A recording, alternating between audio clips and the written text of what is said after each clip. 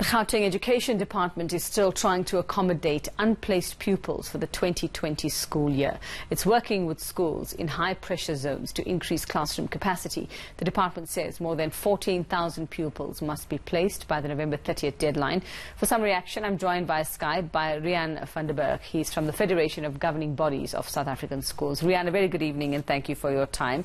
Good decision, bad decision. How do you feel about this? I think a desperate decision. Uh, it's it's pretty sad that the sector is being managed through press conference and press releases. Uh, the interesting thing is that there is a problem, but there's also a problem on the other side of increasing class sizes. There's a legal framework, uh, and it's illegal to have more than 40 learners in a class for grades 1 to 40. So that uh, the MEC has a problem if he wants to increase class sizes above that level. Do, as far as you know, has there been any consultation with the uh, school principals, with teachers as well, to, to, to gauge whether they'll be able to cope with such a load? We got wind of it uh, from a few schools yesterday that the department had meetings with the schools to, to indicate that they're going ahead with this. No necessary uh, consultation or um, you know, meetings about it, but more an information session that the problem exists and that's the solution that we have now. Mm. Um, I'm trying to see whether there is a number in any of these uh, in, in, any of these uh, statements or articles. Rand, do you know what would be the average uh, sort of increase in the number of pupils per in, in these classrooms? Yeah, I don't think that's uh, all around the province. Uh, the, the, press release uh, mentions that there's high pressure zones, and we know of areas where high pressure is being experienced. And I think that's the systemic problem in the province. It's it's not an individual school's problem to take more and more learners. Uh, the norms and standards for funding and for infrastructure regulates that. It's the MEC's responsibility to ensure that there is enough schools in the province that there are enough schools built uh, in the places where people live. So we, we have instances of empty schools and we've got instances of high pressure schools, and that's a function of real as well as perceived um, views of quality education. S- schools performing better than other schools, and everyone wants to vote with their feet and get into the school that is perceived to be better than the other one. So yeah, it's, it's, it's a very complex problem at this point in time. Do you see this as a failure of the online admission application process? I don't think the online admissions application process is a failure. I think the systemic issues is what uh, are, are, what need to be addressed. Um, uh, enough schools, uh, population density, and not just demographic changes in, in the province. So uh, there's language issues. There's uh, uh, not enough schools. You know, capacity issues. there's the problem of uh, quality schools or schools of choice. And, and even the MEC alluded to that early in October, where he said most of the good schools are already full, so people have to be uh, okay with being placed at, at other schools. And, and I think that that is a bad narrative that's forming. Uh, mm. All schools need to be, South African schools need to be good schools in the province. Um, the online system has had its challenges, but, but we believe technology is the way of the future and uh, it should work it, it should work better, but it's not technology that's the problem. It is it is systemic issues.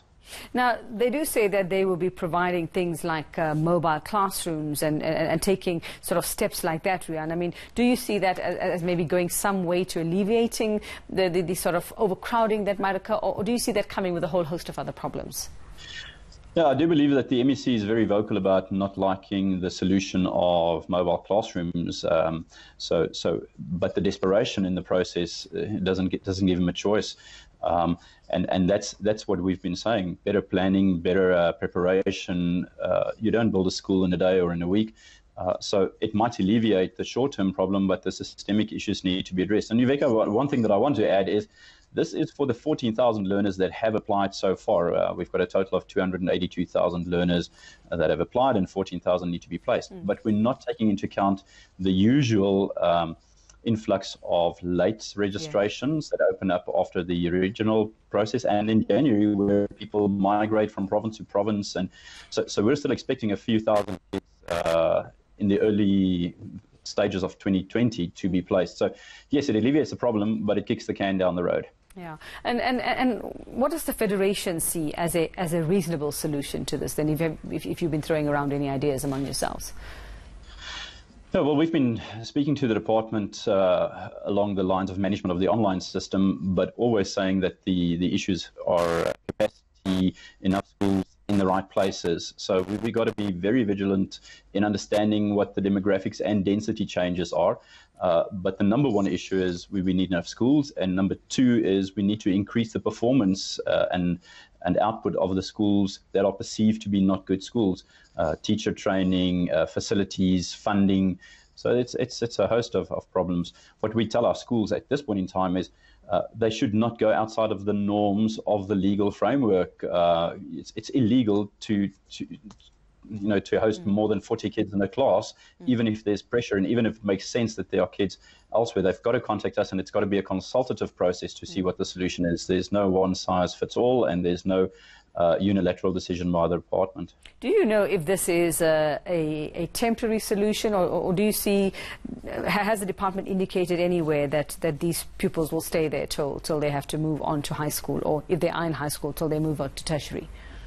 Yeah, I think what, what is really problematic is once a learner is enrolled in a school, you know, the, the rights of the learner is also paramount. Uh, you know, it's very disruptive to move from one school to the other. So that's why the initial phase, the admission phase of going to school is so important uh, and very emotive for parents. We've seen in the news that, that parents are very much uh, frustrated, uh, challenged in this process, uh, having been called to go to district offices, uh, being explained that they can appeal the decision, but if there are not enough seats in the school, that is a problem. So it, it might be a temporary problem for, for the initial phase of 14,000 learners being placed.